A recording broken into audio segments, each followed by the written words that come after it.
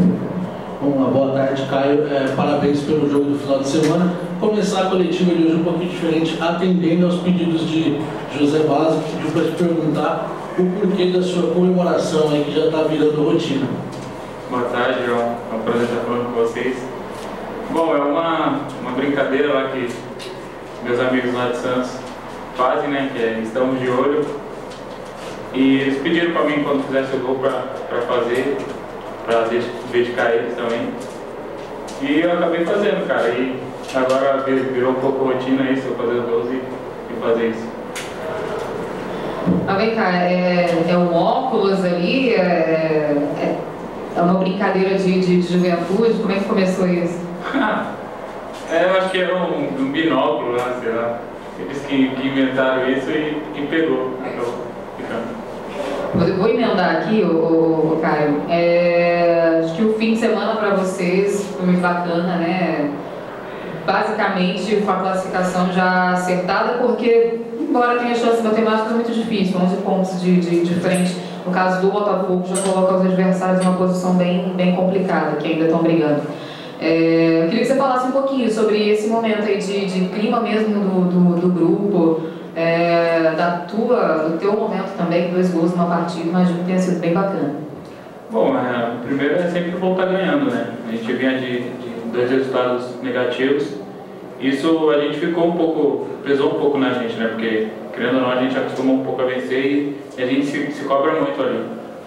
E claro que depois de uma vitória e poder se distanciar um pouco mais, praticamente classificado, é, isso é muito bom para a gente e para o nosso trabalho, para dar continuidade. Caio, você é um cara que tem uma história muito bacana aqui no Botafogo, porque é, foram etapas, tudo foi acontecendo aos poucos e hoje você desfruta da titularidade do time, já afastou a sombra de outros jogadores aí com os gols que você vem marcando. Queria que você fizesse um panorama desde que você chegou aqui até o momento brilhante que você vive hoje. Ah, bom, eu particularmente me cobro, me cobro muito é, durante os treinamentos, durante os jogos. Eu acho que a, a sombra, lógico que ainda tem, porque são jogadores muito qualificados que, que tem no, no Botafogo. E isso é, é muito importante para mim, porque eu tenho sempre que estar tá mostrando ali. Eu acho que se eu fizer um jogo ruim já vão me cobrar muito. E eu acho que é importante também para eu dar sequência no meu trabalho é procurar manter isso e procurar é, crescer cada vez mais e procurar é, melhorar minha, minha forma. O que é o objetivo do Botafogo daqui para frente no, no, campeonato? Ainda falando dessa, dessa fase de classificação, é, em termos de posição ali no G4? Ah, desde o começo a gente, o nosso objetivo é terminar entre, entre os primeiros, né? E a partir de agora também não vai ser diferente. Acho que é bom ter esse, esse, esses jogos para a gente nos cobrar e melhorar cada vez mais o time. Vamos, vamos ter bastante tempo aí para preparar bem o time para chegar na, na, nas finais. Caio, o jogo de sábado foi uma partida de várias emoções diferentes dentro de uma mesma partida.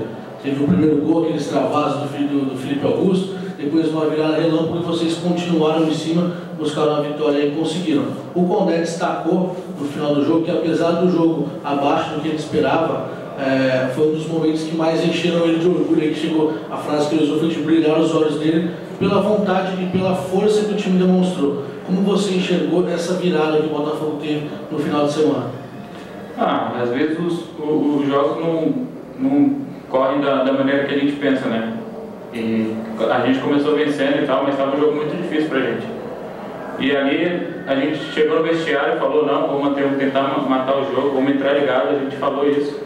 Mas infelizmente a gente acabou tomando dois gols muito rápidos. E ali dentro a gente não, não pode desistir em nenhum momento, independente do, do, do, do como está indo a partida.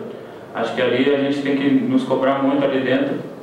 E, e não foi diferente, acho que o time se fechou cada vez mais e, e batalhou muito para conseguir a virada.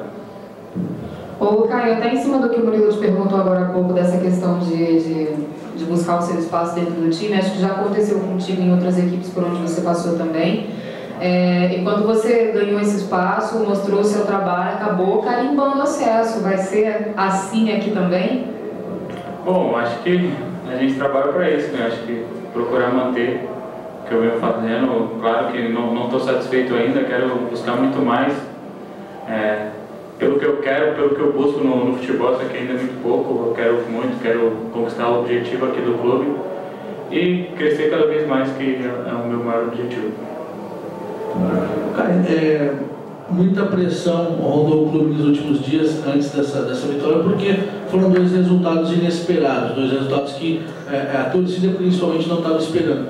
Quanto foi importante para vocês já conseguir, nesse jogo dentro de casa, dar uma resposta positiva, ganhar os três pontos, o quanto isso aumenta a força dentro do grupo? Ah, a vitória já, já deixa nós um pouco, um pouco melhor, né?